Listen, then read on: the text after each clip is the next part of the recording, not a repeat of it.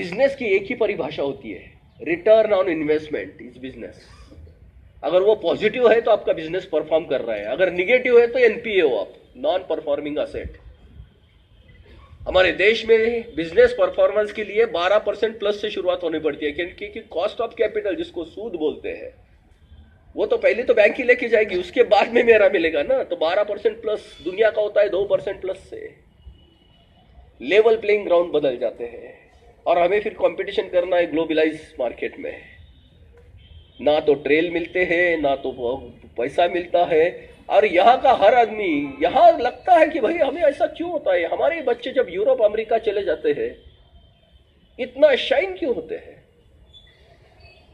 हम लोग कोसते रहे अपने स्वभाव को, अपने वृत्ति को। भारत की वृत्ति में प्रॉब्लम नहीं है। भारत की अर्थव्यवस्था में जो प्रॉब्लम आ गया है, वो परिभाषा समझ में समझ में आनी, आई नहीं हमारे। हमने संसाधनों की भाषा समझी है। हमने वो पैसे की जो फैलसी है अंडरस्टैंडिंग आज के एक हज़ार के नोट पे, आज दो हज़ार के नोट पे सरकार ने और एक ज़ीरो बढ़ाया। तो हमें बीस हज़ार का ट्रांजैक्शन करना पड़ेगा। सरकार के लिए कितना खर्चा आ गया एक ज़ीरो बढ़ाने के लिए? ऐसी वैल्यू क्रिएट हो सकती है क्या? ऐसा हो सकता है क्या? और यही हो रहा है कि ये जो इकोनॉमिक्स अभी जो बड़ा हो गया है, वो ब्रेन को परचेस कर पा रहा है, क्योंकि उसके पास परचेसिंग पावर आ गई है।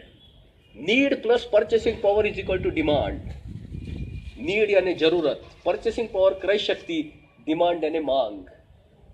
अगर आपके पास परचेसिंग पावर ज़्यादा आएगी तो आपकी डिमांड जो है नीड है, वो डाइल्यूट होने लगेगी। इसको कंज्यूमरिज्म बोलते हैं। हम अपने बच्चों के साथ बातें करते तो बोलते कि हमारे पैर में तो चप्पल भी नहीं थी, हम तो साइकिल पे घूमते थे, लेकिन बहुत खुश थे। आपके पास क्यों ऐसा नहीं है? पूरी दुनिया आज इसके झंझोल में आ गई है। समझ नहीं पा रही कि इसके आगे कैसे निकल आए।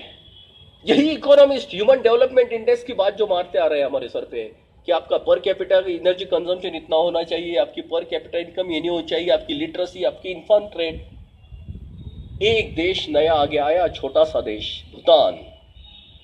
पहली बार उन्होंने हैप्पीनेस इंडेक्स की बात की है। लेकिन यह भी काफ़ी नहीं है। इसके आगे चल के हमारे देश को सेटिस्फैक्शन इंडेक्स देना पड़ेगा कि हमारा सेटिस्फैक्शन कहाँ होता है। ये थ्रेश होल्ड है एक। इसके आगे कुछ नहीं होता है, सिर्फ़ कंजम्पशन बढ़ते रहता है। सेटिस्फैक्शन का एक मतलब होता है। जैसे मुझे गुलाब जाम बहुत पसंद है खाने के लिए। मैंने खाना शुरुआत किया, दो इसमें मैं सेटिस्फाई हो गया, तीसरा होता है वो कंजम्पशन होता है। ना उसकी कोई सेटिस्फैक्शन कुछ नहीं होता उसमें, सिर्फ़ कंज्यूमरिज्म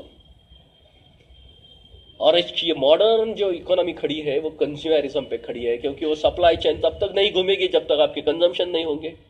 सभी को रोज़गार अगर चलाना है तो उसको तो कंज्यूम करते रहना है।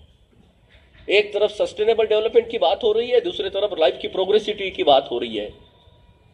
प्रोग्रेसिव डेवलपमेंट अभी एक जगह आने की बात हो रही है कि इससे आगे नहीं चल सकती, ये पृथ्वी उसको बेयर नहीं कर पाएगी। आज दुनिया के सबसे दो बड़े कंसर्न आ गए, जो सबको हमको ग्लोबलाइजन ग्लोबिजन उन्होंने बना दिया।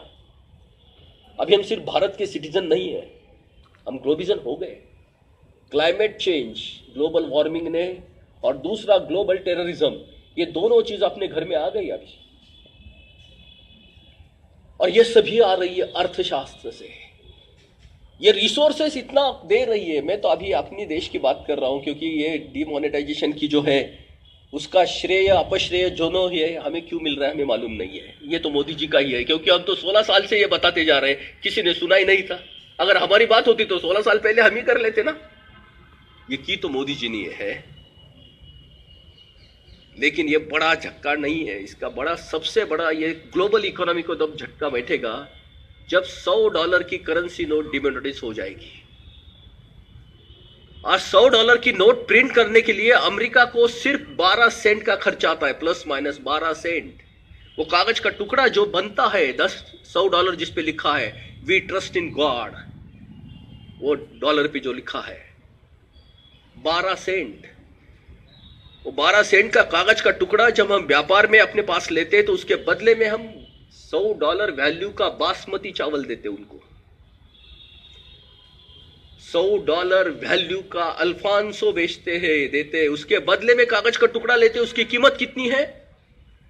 बारह सेंट।